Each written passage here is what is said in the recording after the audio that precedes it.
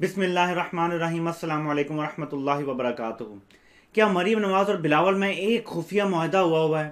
کیا یہ سیاسی جانشین مل کے اپنے اپنے باپوں کو رستے سے ہٹانے کا پلان بنا چکے ہیں؟ یہ ایک تھیری ہے میری، یہ نہ سمجھے کہ میں آپ کو کوئی خبر دے رہا ہوں یا کچھ۔ یہ میرا تجزیہ ہے۔ یہ میں آپ تک اس لیے پہنچا رہا ہوں کہ آپ کی رائے مجھے پتا چل سکے، ایک ڈیبیٹ ہو، لوگوں کو پتا چلے، اور اگر یہ بات سچ ہے تو ان کا یہ بے نقاب کیا جا سکے۔ جس طرح مریم نواز نے نواز شریف کا بیانیہ بنوایا، ڈان لیکس کروائے نواز شریف کو کہا، ڈٹ جاؤ ابو آپ کو پتا ہے نواز شریف ہمیشہ ڈیل کرنے والا بندہ ہے۔ اور لوگوں نے یہ بات پھر کھلے عام کی کہ مریم نے اپنے والد کو پھنسایا ہے۔ مریم ہی چاہتی تھی کہ وہ جیل میں جائے، مریم ہی اسے مارنے کی کوشش کر رہی ہے۔ یہ ساری باتیں نکل رہی ہیں کہ کیسے گھر کے کھانے میں ہو سکتا ہے سلو پوائزنگ مریم کر رہی ہو۔ کیونکہ اپنے باپ کے ذریعے ایک تو سیاست کر رہی ہے، دوسرا اگر باپ کو کچھ ہو جاتا ہے تو سیاسی پوائنٹ اسے ملتے ہیں۔ باپ جیل میں ہو تب بھی اس کی ون ون سچویشن ہے۔ باپ اگر مر جاتا ہے خدا نہ خرصہ تو تب بھی اس کے لیے ون ون سچویشن ہے۔ اب آتے ہیں بلاول کی طرف۔ لوگوں کو جو بات سمجھ نہیں آئی، جو بات میں سوچ رہا ہوں کہ کیوں جب بھی زرداری کے کیسز کے بارے میں زیادہ بات ہوتی ہے، تحقیقات بڑھتی ہیں، بلاول فوراً کہتا ہے کہ بینڈ آؤٹ فٹس کے خلاف جی آئی ٹی بننی چاہیے۔ کالدم تنظیموں کے خلاف جی آئی ٹی بناؤ، تحقیقات کرو۔ کہیں وہ جو بات کھل کے نہیں کر سکتا، وہ دبے لفظوں میں اداروں کو بتانے کی کوشش تو نہیں کر رہا کہ میرے باپ نے کالدم تنظیموں کو انہی اکاؤنٹس کے ذریعے فنڈنگ کی ہے۔ ملک میں دہشت گردی میرا باپ یعنی زرداری کرواتا رہا ہے اور اس کی فنڈنگ انہی جعلی اکاؤنٹوں کے ذریعے کی گئی ہے۔ تحقیقات کر لو۔ اور جو اس نے وہ ٹویٹ کیا تھا کہ اسکرو یو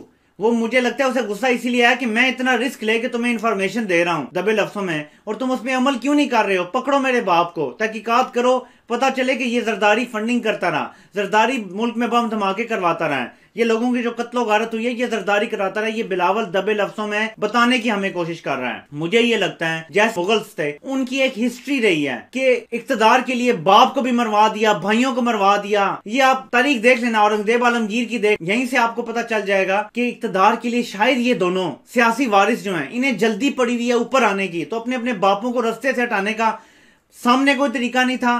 تو دوسرا طریقہ اپنا رہے ہیں کہ باپ بھی پکڑے جائیں گے، جب وہ پکڑے جائیں گے تو ان کے نام پہ سیاست ہو جائے گی۔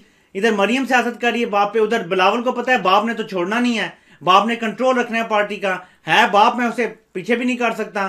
تو وہ اس طریقے سے اسے پسوا رہا ہے کہ تحقیق ہوگی، پتہ چلے گا جی زرداری تو فنڈنگ کرتا رہا زرداری اندر چلا جائے گا، اس پہ دہشت گردی کی دفعات لگ جائیں گی۔ اور پارٹی پوری طرح سے بلاول کے حوالے ہو جائے گی۔ اور اس کے بعد بلاول اپنے نانا والا نعرہ لگا کے کہ دیکھو جی اب میری ہے پارٹی، کوئی بھی نہیں کر رہا۔ اور اقتدار میں آنے کا اس کے لیے رستہ ہموار ہو جائے گا۔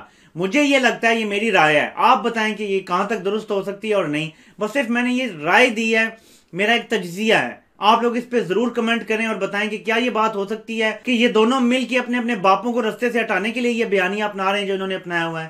بہت بہت شکریہ۔